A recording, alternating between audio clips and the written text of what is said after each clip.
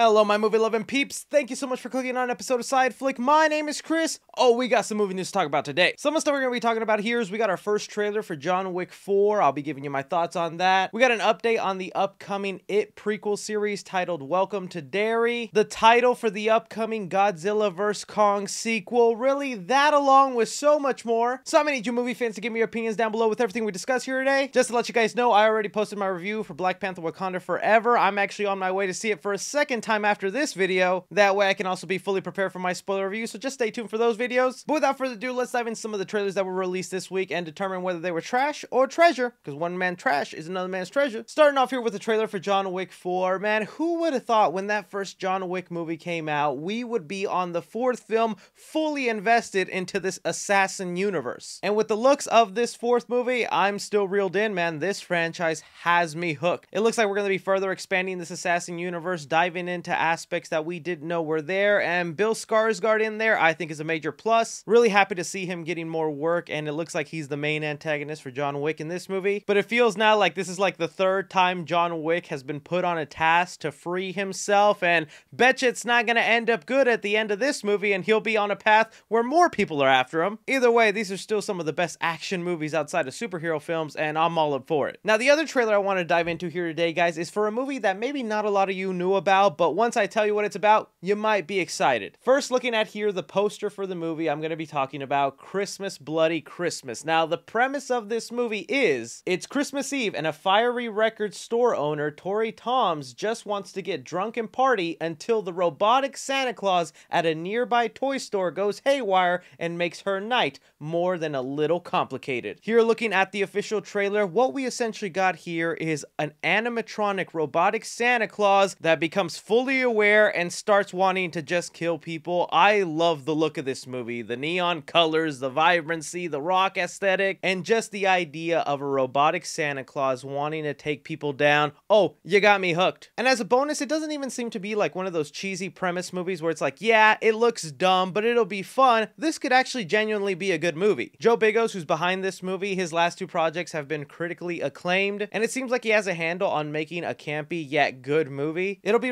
releasing on Shudder December 9, 2022. I just wanted to put it on your guys' radar because I tend to know my audience and it felt like something you guys would enjoy to hear about. But moving on from there, getting into some more movie news stories here, let's get a little update on Mortal Kombat 2. Now, you guys might have remembered we have already gotten that first Mortal Kombat movie. I know it's up and down with some people. I enjoyed it for what it was. Definitely a very flawed film, but I'm excited to see them do more in that world. But with Warner Brothers and all the changes they've been making lately, it's kind of up in the air whether we were still going to get this second film, and we got an update from one of the stars. Actor Lewis Tan, who plays Cole Young, the new addition to the Mortal Kombat world, had this to say about the movie when talking about Warner Bros. Discovery being in charge. Well, it impacts us a lot, but not really us in particular, because New Line is the studio that is under the branch of Warner Brothers. But they're very happy with the movie, and obviously it performed very well. It's one of our most viewed films of their Warner Brothers slate, even though it came out at the worst time ever possible. But no, we're still full steam ahead, and now we have Ed Boon with us as well, so we got the stamp of approval from the legend himself.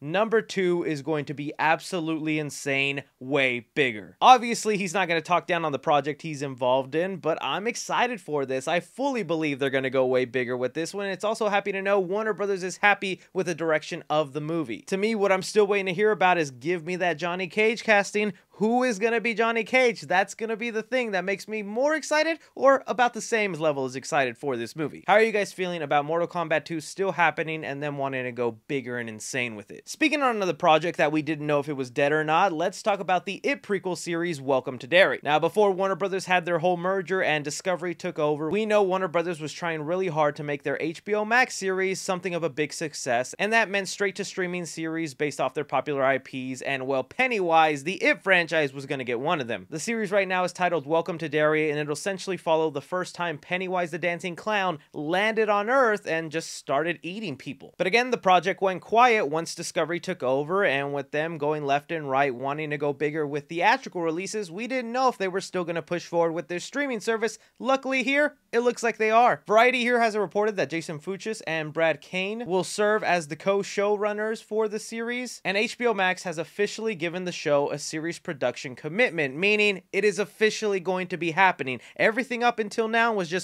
pre-development, getting the scripts made, having an idea, presenting it to the studio, and now they're fully on board with everything happening. They even say Andy Muschietti, who directed the two It movies, might direct the first pilot. This is exciting to me. The only other thing I want to hear about this series now that I know it's happening is is Bill Skarsgård returning? I feel like he's got to be, even though he's doing some good work outside of the It franchise, the boy is still Pennywise in our hearts. But this is where I throw it off to you guys. You hear that the It series is still happening. Welcome to Derry is not dead. Are you excited for the streaming service? And do you think Bill Skarsgård will return as Pennywise? Sticking on the horror train here, we got another update concerning Scream 6. Oh, as the months roll along, we are just getting closer to this sequel, and I cannot wait for it. And what Jenna Ortega just said about the movie has me even more hyped. She was was recently doing an interview and promoting her new Netflix series Wednesday when she got asked about Scream 6 and specifically how Neve Campbell is not returning. Jenna Ortega had this to say I feel like I can't really speak too much on that just because it's not necessarily my character, but I will say there's so much going on in this next one that it's so action heavy and so gore heavy that I think you're going to be distracted almost. She continues though, but it's very clear like there's references to Sidney, of course, you know. It's nice because there's still a protectiveness in the script, and that's something that the actors had naturally over her because obviously we respect her and we want the best for her. She's missed and thought of. So a couple of thoughts on that. For one, it does really suck that Neve Campbell is not returning for this sixth movie, even though we heard rumors that maybe she might show up. The more the cast members have come out and said she's not coming back, and Neve Campbell has like doubled down on it, even going as far as mentioning that the studio didn't want to pay her the money. That's not them being coy or trying to surprise fans. Like that's some serious straight up drama. And I do not blame Neve Campbell at all for asking what she deserves. But with Scream 5, I grew to love the new direction of the series. I like these new characters they've introduced. I want to see these surviving members interact with Gale Weathers and Kirby, so I'm invested either way, and in my own little happy head canon, I could just imagine Sidney is married with children, happily forever after. We don't need Ghostface chasing her.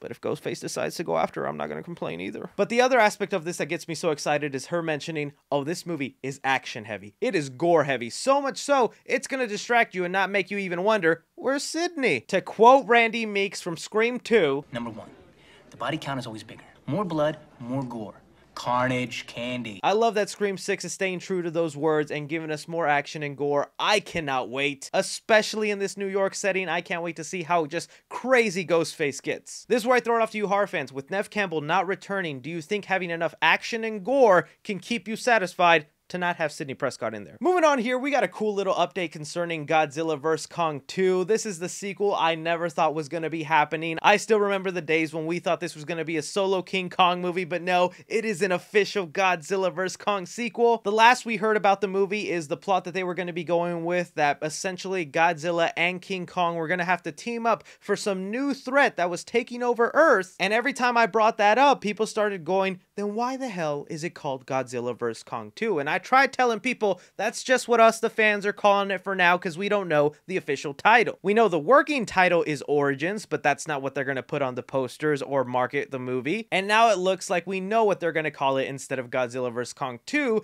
thanks to a couple of crew members who have been working on the movie. We've gotten some leaked photos on the set that these crew members are wearing logos that read Godzilla and Kong.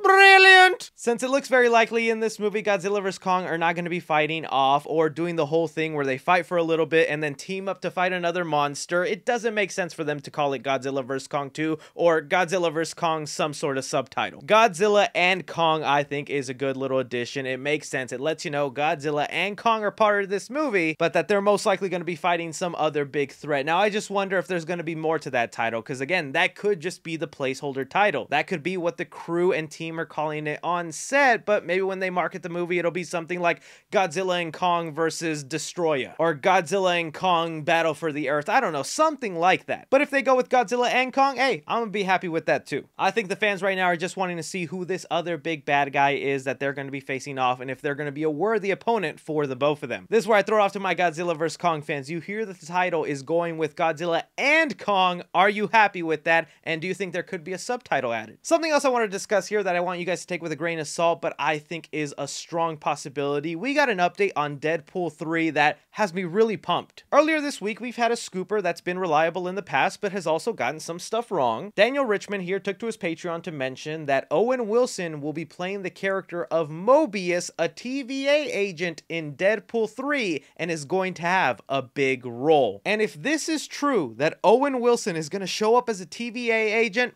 that changes the game for Deadpool 3. Now my excitement for this movie through the roof. I mean, it was already through the roof once you told me Wolverine, Hugh Jackman was in here with Deadpool, but I was also wondering, how are they going to make this part of the MCU? They've already established that the Fox universe is its own world. And now with Multiverse of Madness and Spider-Man No Way Home, they've made it very clear it's possible for us to jump into other universes even if they were owned by other studios. So I was curious to how they would explain Deadpool maybe coming over into the MCU for a little bit, and with them also calling this a road trip movie with Deadpool and Wolverine,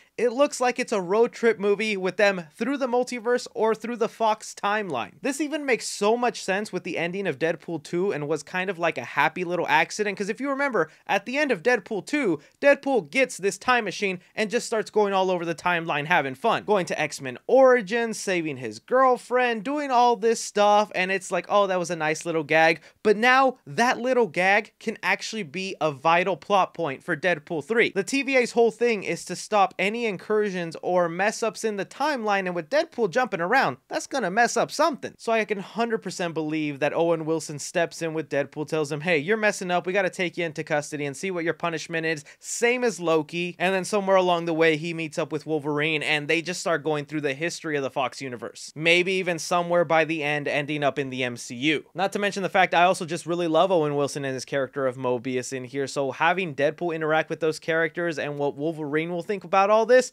so cool. But again, let's take it with a grain of salt. For all we know, this could be false, but to me, this was unexpected, but also makes a lot of sense. What do you guys think about Owen Wilson, the TVA agent, having a big role in Deadpool 3? Do you believe it or do you not? But that is all the movie news we currently have going on right now, guys. I want to thank you so much for taking time out of your day to watch me talk some movie news. Don't be forgetting to hit that like button, subscribe if you haven't already. Follow me on Twitter at 3C Films or on TikTok at 3C Films. But as always, I'm Chris.